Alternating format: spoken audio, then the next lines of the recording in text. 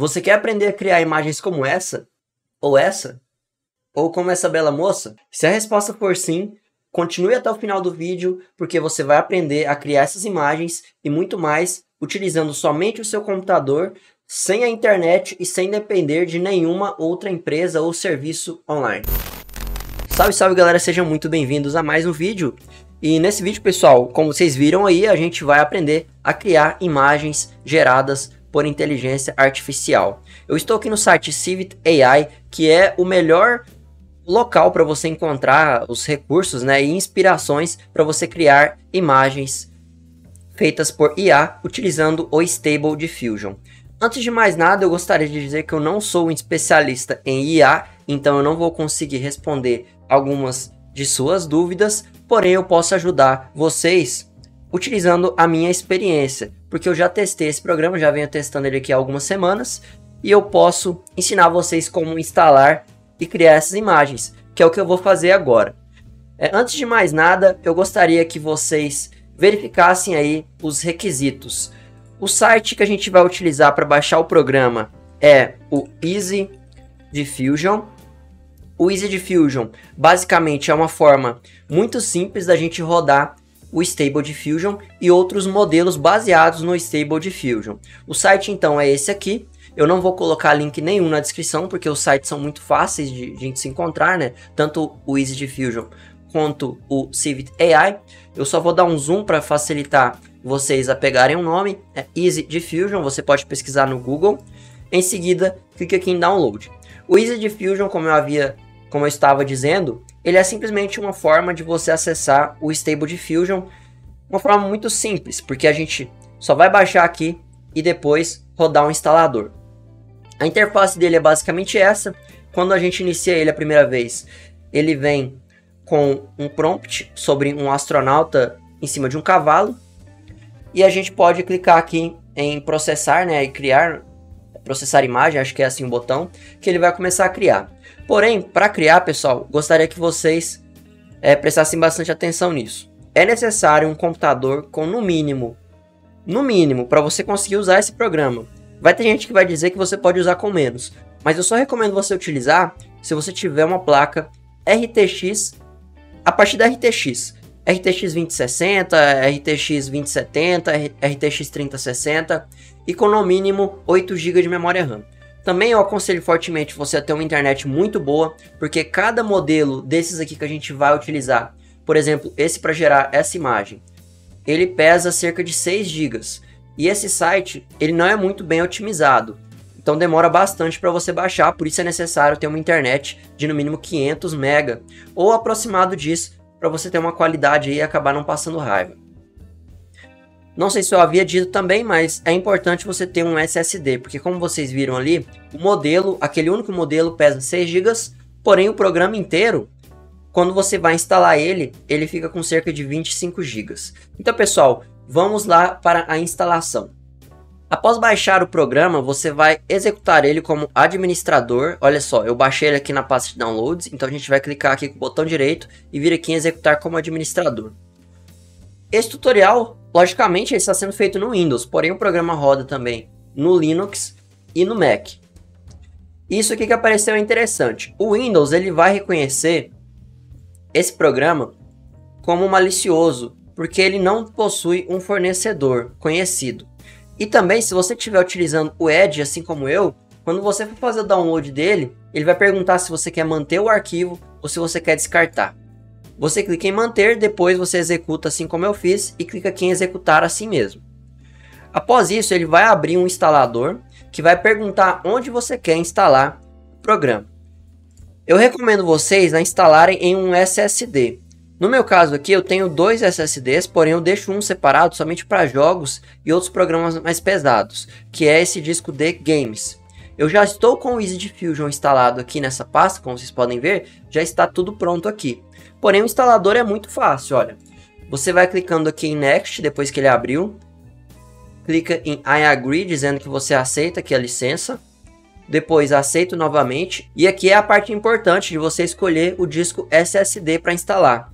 E olha só quanto de espaço que ele precisa inicialmente, 25 GB. Então, além de você ter um SSD, é importante que você tenha no mínimo 25 GB de espaço disponível aí.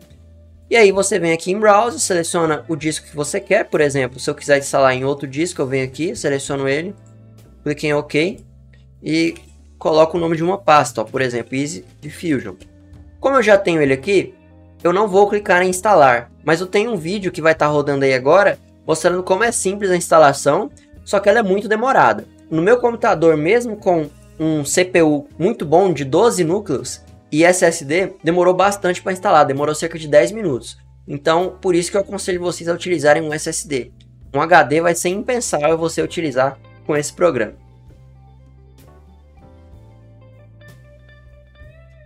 Voltando aqui, pessoal, após mais de 10 minutos, o programa ainda está instalando, mas já está no final.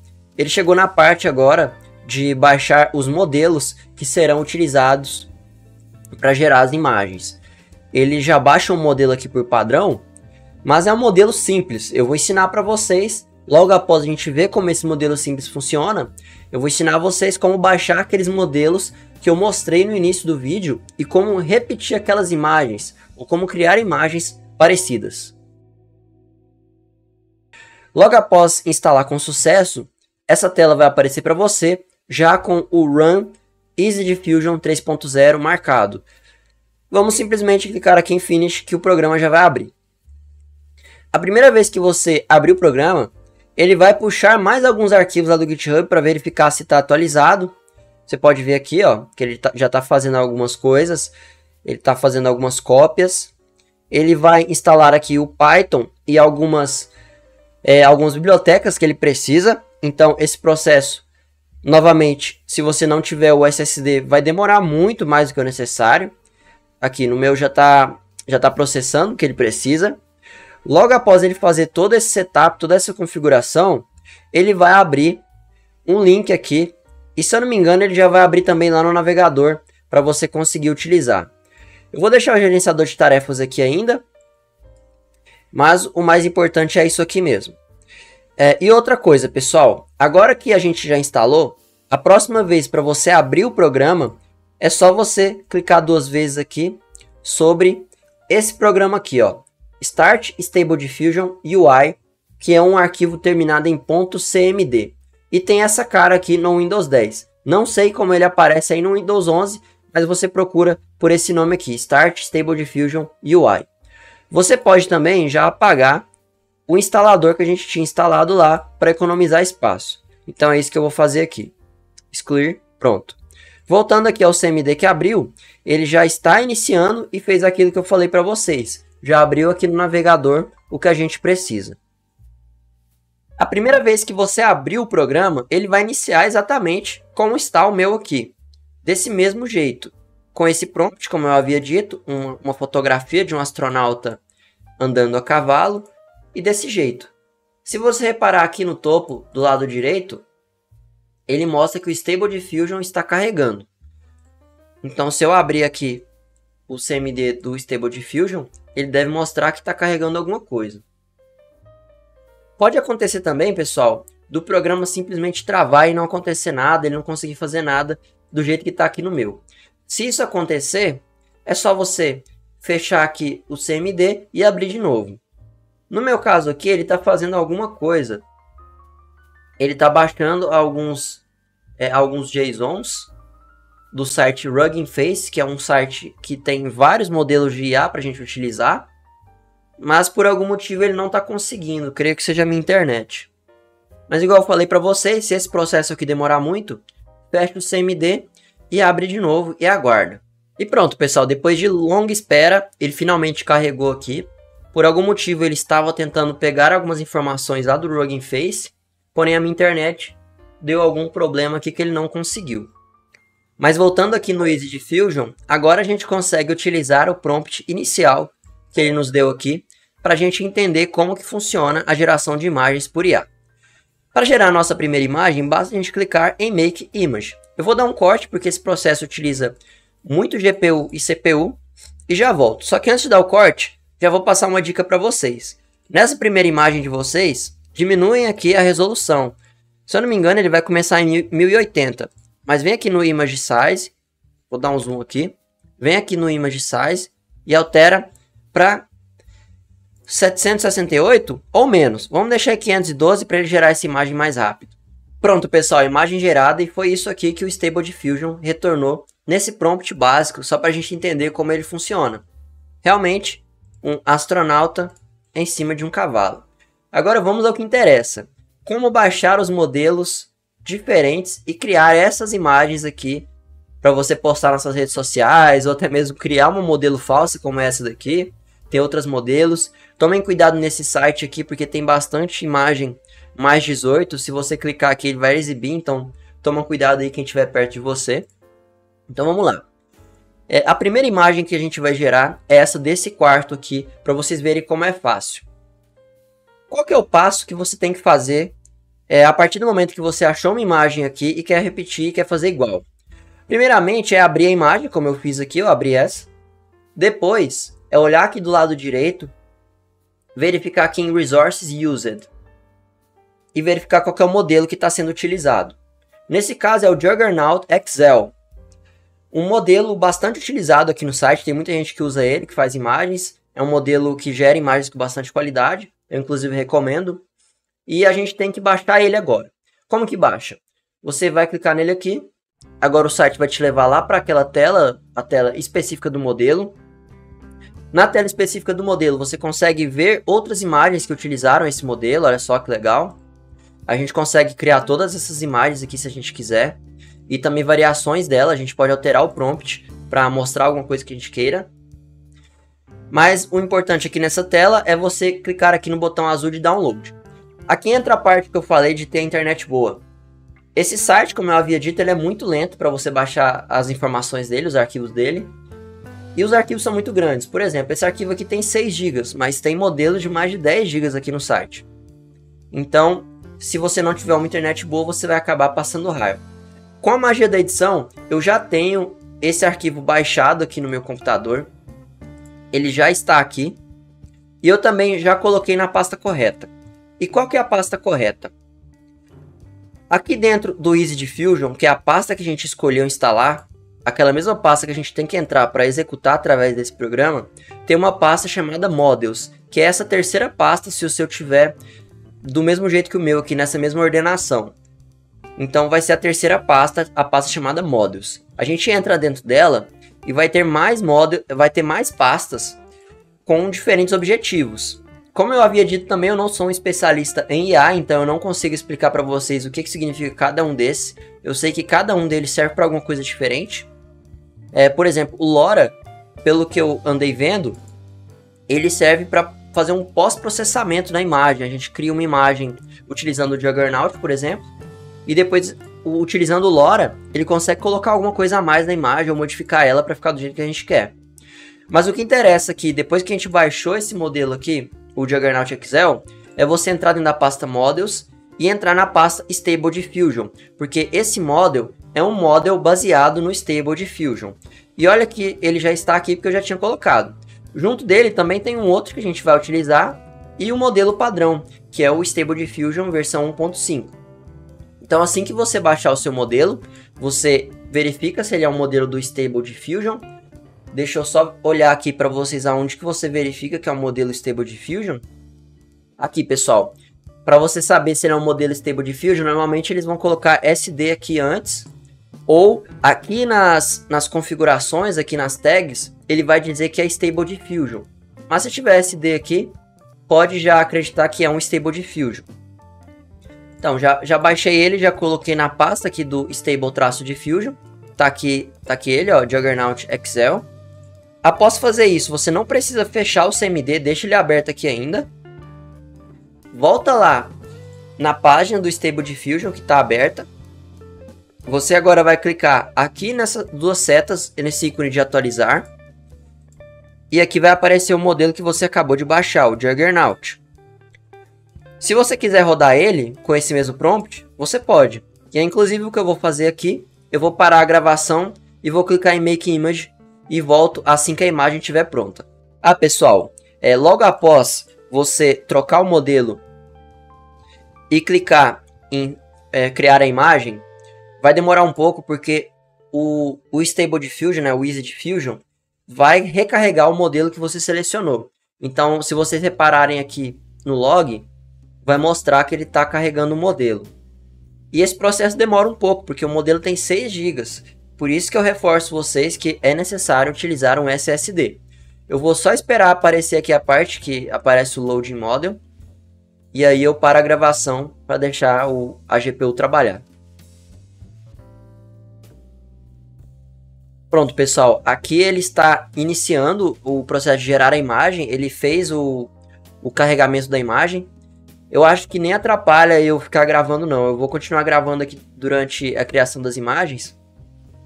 Porque o, o que pega mesmo é a demora em carregar o modelo, mas como ele já carregou e já criou, pronto, tá aqui. Nem, nem terminou, eu nem consegui terminar o que eu estava falando, ele já terminou a imagem. Mas olha, utilizando esse novo modelo, de Juggernaut Excel, ele criou uma imagem muito melhor. E isso porque eu estou também em 512 pixels. Se a gente colocar numa quantidade de pixels maiores, além de demorar mais, ele vai precisar de mais memória de vídeo. E aí eu vou aproveitar para mostrar para vocês como que fica o uso de memória, tanto de memória RAM, que eu não havia dito também que a gente precisa. A gente precisa de muita memória RAM, no meu caso aqui eu tenho 32. E a gente precisa também de uma placa de vídeo com bastante memória de vídeo, eu tenho 12 aqui. Vou deixar o, o gerenciador de tarefas aqui de lado, porque a próxima imagem que a gente vai gerar, que é a daquele quarto lá, que é essa daqui, a gente vai precisar do prompt e a gente vai conseguir visualizar aqui como que fica o uso de GPU durante a geração de imagem. Então vamos lá. Vamos supor que eu vi essa imagem, eu quero criar uma imagem parecida com ela. Eu venho aqui, copio o prompt, com o modelo selecionado Juggernaut Excel, está aqui selecionado o modelo, coloco o prompt aqui. Volto lá, verifico se tem um negative prompt. O que, que significa isso? É um prompt negativo, é uma lista de palavras que a gente não quer que a nossa imagem possua. Nesse caso aqui, ele não quer que possua CGI, Unreal, Airbrushed ou uma imagem digital. Ele quer uma imagem bastante realista. Vou copiar esse prompt também e colar aqui. Volto lá. E agora eu vou copiar essas configurações. Só que antes de copiar essas configurações, eu vou gerar a imagem para vocês verem o tanto que ela vai ficar diferente sem aquelas configurações que ele disse para a gente usar ali. Enquanto isso, vamos ver como que fica o uso da GPU. 67%. Uso de memória meu que está tá estável. E CPU está quase 50%. Já gerou a imagem e olha só como que ficou. Ficou parecido com aquela, quase a mesma ideia, porém ele não ficou com a mesma qualidade. E agora entra aquela configuração aqui de baixo, o CFG Scale, os steps, o sampler e a seed. A seed não é tão necessária, é só se você quiser gerar uma imagem 100% idêntica a essa. No nosso caso aqui não precisa dela, então vamos pegar o CFG Scale e o Step, então é 2 e 5. Então aqui no Guidance Scale é 2 e no Step é 5. E o sampler é o DPM++ SDE. Vamos selecionar aqui então no sampler DPM++ SDE, esse daqui. O resto eu vou permanecer do jeito que estava e vou clicar agora em gerar a imagem. Vamos acompanhar aqui o uso novamente enquanto ele está criando a imagem. Já criou a imagem aqui. Pronto. Não ficou uma imagem 100% porque é igual aquilo que eu havia dito. A gente não está copiando a seed. Eu vou copiar a seed agora e vou também copiar essa mesma resolução, eu, eu acho. Deixa eu ver como que é essa resolução aqui. Se ela for muito grande, não tem como. É como ela é muito grande, eu não vou tentar fazer ela porque vai atrapalhar a gravação. Mas se a gente copiar a seed, e colar aqui, ó. Primeiro você desativa aqui o handle, para ele parar de gerar uma seed aleatória. Cola a seed que você quer e clica em gerar imagem. Agora ele deve criar uma imagem um pouco mais parecida com aquela. Ó, não ficou 100%, vamos criar... É, eu vou colocar para criar 4 logo, então aqui no Number of Images eu já vou colocar para gerar 4. Vamos ver como que ele vai ficar.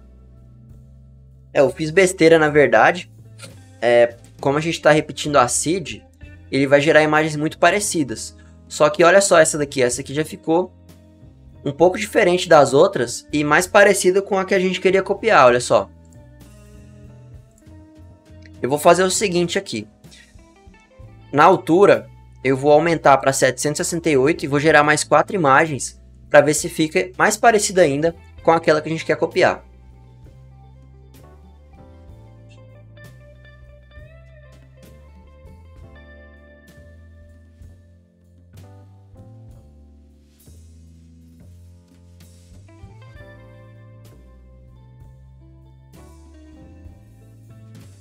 Olha só, pessoal, uma das imagens já ficaram prontas, a qualidade ficou bem melhor.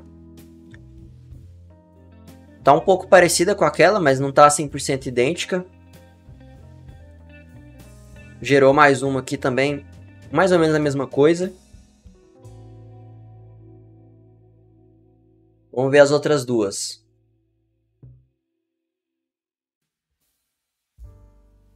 Gerou mais uma.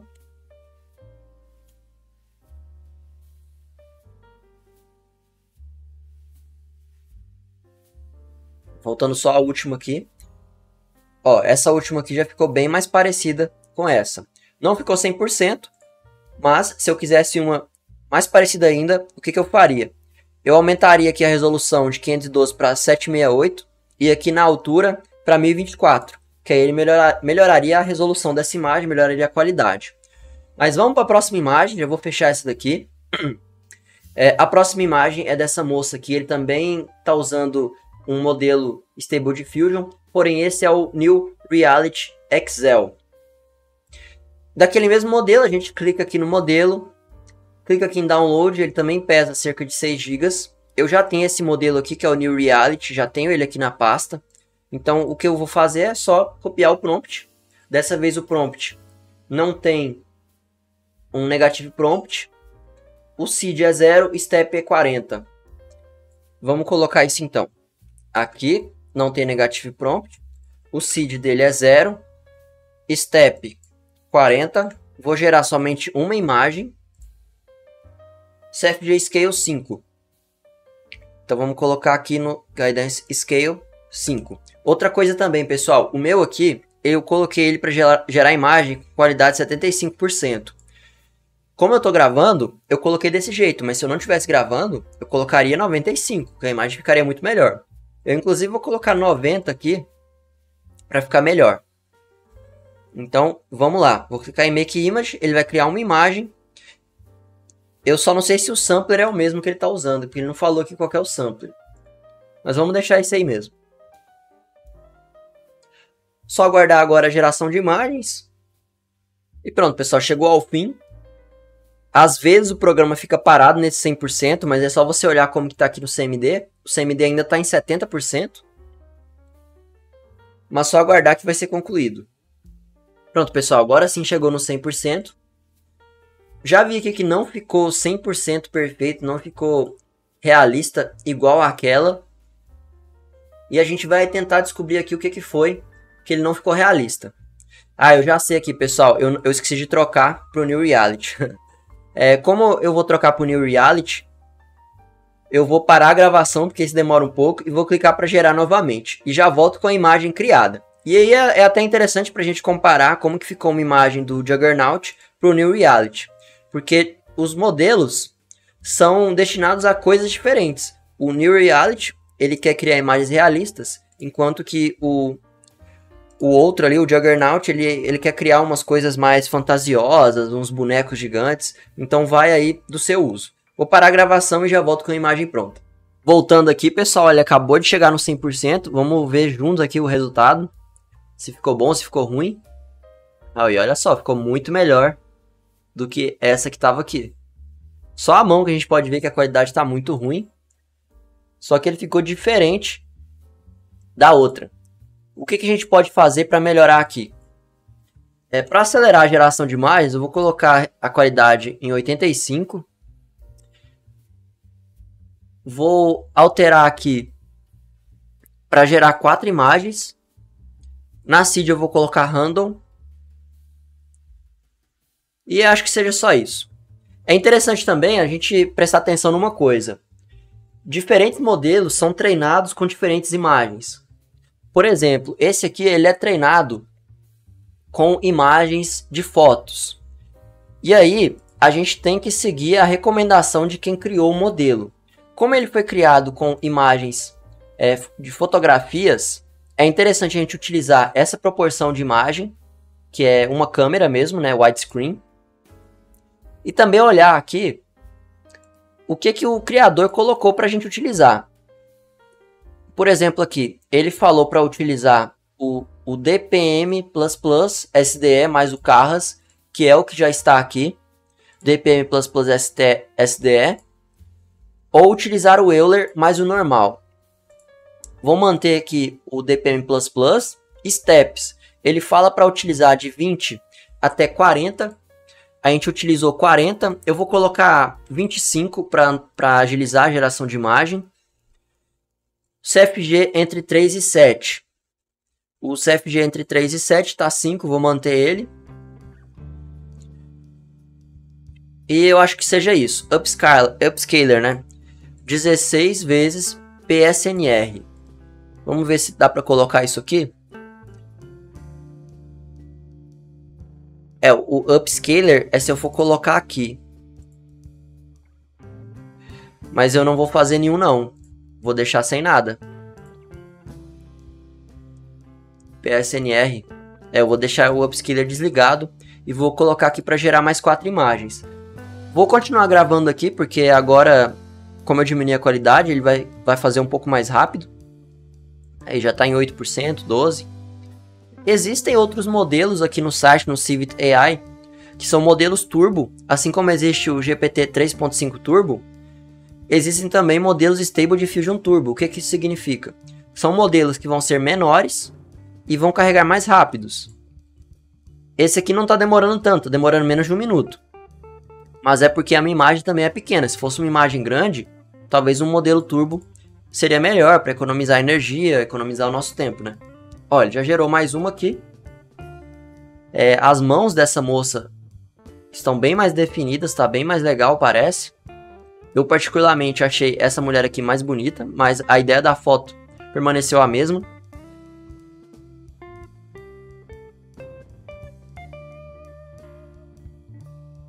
Vamos ver a próxima imagem agora. Aqui aconteceu um bug, ou, ou não um bug, né? Porque como esse modelo foi treinado com fotos, existem aquelas fotos que são três fotos divididas assim, né? Então ele tentou gerar aquela foto, só que saiu um negócio todo bizarro, todo bugado. Essa aqui ficou bem ruim. Vamos ver a próxima agora como que ficou. Ó, a próxima já parece que ficou bem melhor do que a primeira. Vamos ver a outra. A outra daqui 50 segundos a gente vai descobrir. E logo após a finalização dessa imagem, a gente já vai fazer a próxima, que é utilizando LoRa. Vou ensinar para vocês como que faz para utilizar o LoRa para criar esse tipo de imagem, é, essa outra aqui, essa aqui, com qualquer pessoa que você quiser. Basta você vir aqui pesquisar é, o nome da pessoa e baixar a lora dela. Vamos ver como que vai ser a próxima imagem. E tá pronto aqui, pessoal. A última imagem, o olho ficou meio bugado, não ficou tão perfeito. Mas acontece. Vamos agora como... É, vamos, vamos agora aprender a como criar imagens como essa daqui. Vamos supor que você tá aí de boa lá no Civ AI e você quer criar o rosto de alguém. Vamos criar o rosto do Bolsonaro pesquiso aqui Bolsonaro. Às vezes o site pode dar erro. Você refaz a sua pesquisa, recarrega o site. Existem atualmente aqui, nesse meu caso, três modelos para o objetivo que eu quero. Mas se a gente for olhar alguém mais famoso, por exemplo, o Trump. O Trump. E o Trump só tem dois modelos, né? Aí piorou. Mas voltando aqui, vamos para o Bolsonaro a gente escolhe qual modelo que agrada mais a gente. Por exemplo, aqui temos esse primeiro que é o LoRa Excel, que ele está usando por base o modelo SDXL. Como eu não tenho esse modelo aqui, eu nem vou baixar ele. E ele também não cria imagens muito semelhantes com a realidade. Essa aqui ficou bastante legal, ficou parecido com a realidade. Mas vamos tentar esse modelo aqui do meio, que é o que usa o Stable Diffusion 1.5, que é o modelo padrão que já vem com o Easy Diffusion. Ele gera imagens bem interessantes, vamos utilizar ele mesmo. Se você reparar aqui, um LoRa é bem menor do que um modelo. Nesse caso aqui o LoRa tem 36 MB, basta você clicar aqui em download e fazer o download. Eu já fiz o download dele, tá aqui. O Bolsonaro V1 Safe Tensors.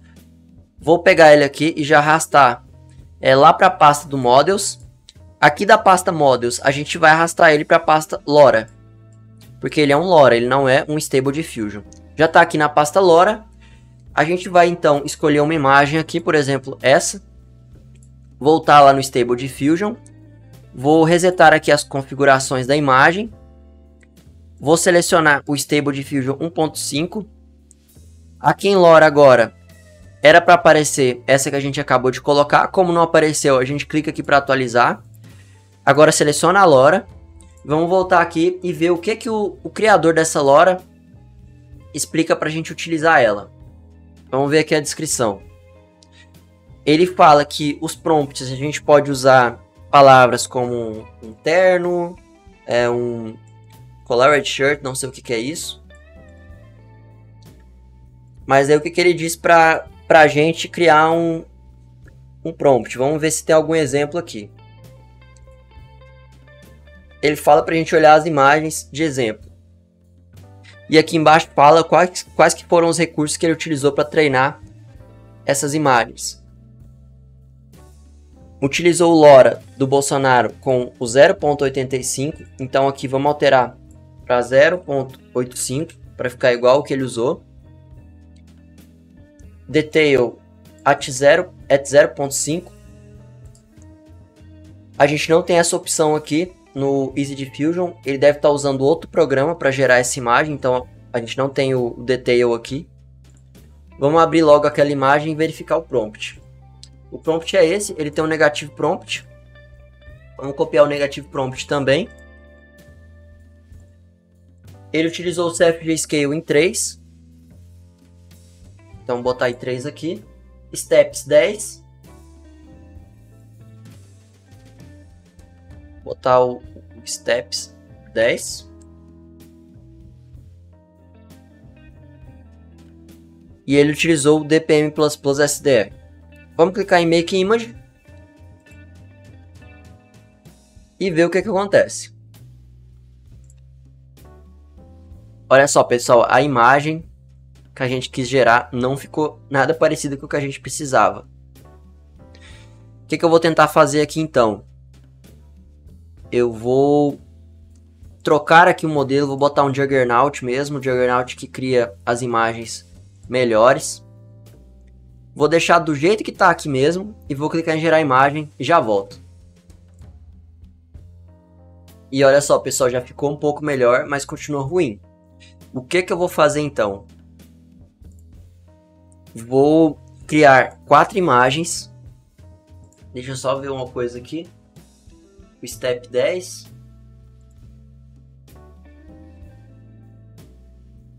Vou botar o CFG para 3 e step 12. O CFG já tá 3, né?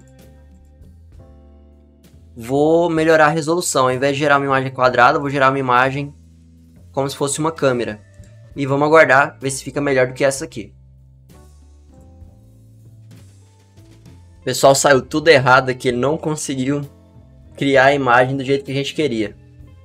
Eu acho que esse louro aqui tem alguma configuração a mais que esse usuário aqui não colocou. Então vamos estar tá utilizando o outro loura, que é aquele primeiro. Então vai, vai ser até interessante Vai ser até interessante porque eu já baixo ele com vocês aqui e já configuro. Ele usa o modelo por base, o SDXL, que é o que a gente já utilizou aqui, que a gente já baixou. O Juggernaut Excel. Então vamos lá baixar ele. Ele é um pouco maior, inclusive, então eu acho que esse aqui vai funcionar melhor. Vou baixar ele aqui, 200 MB. Vou abrir aqui já a pasta de LoRa para colocar ele aqui. Baixou. Já coloco. Vamos voltar aqui no Easy Diffusion. Atualizar aqui. Botar já o Juggernaut Excel. e botar o Bolsonaro V1. Aqui eu vou deixar 0,5, que é o padrão que utiliza. Ele não dá nenhuma instrução de uso, mas vamos ver esse aqui, por exemplo. Portrait Bolsonaro V1. Vou pegar esse aqui.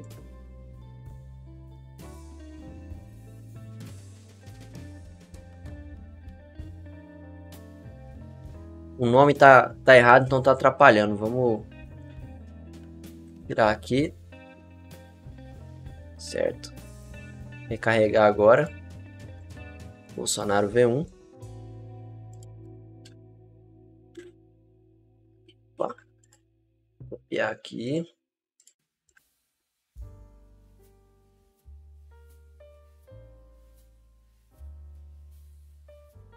Processou o prompt. Ele tem um negative prompt, vamos copiar. Vamos gerar quatro imagens desse jeito aqui. Depois de gerar as imagens daquele jeito, eu vou verificar as configurações e gero com essa mesma configuração. E aqui, pessoal, a, a primeira imagem já foi gerada e logo aqui a gente já percebe que a qualidade ficou muito melhor do que aquele louro anterior. Esse aqui, por exemplo, a gente consegue ver claramente quem que é. Nesses outros aqui, esse aqui até que dá pra ver quem que é, mas, pô, essas imagens ficou muito bagunçadas. Não faz sentido nenhum essas imagens, né? Já esse louro aqui é impressionante a qualidade. E ficou muito bom, né? Bem parecido mesmo. A gente poderia colocar esse sujeito em qualquer condição que a gente quisesse. Vamos colocar, por exemplo, na praia. E vou colocar para gerar mais quatro imagens. Enquanto ele gera essa aqui, ele vai gerar mais quatro imagens logo após. E olha, gerou mais uma, bem interessante.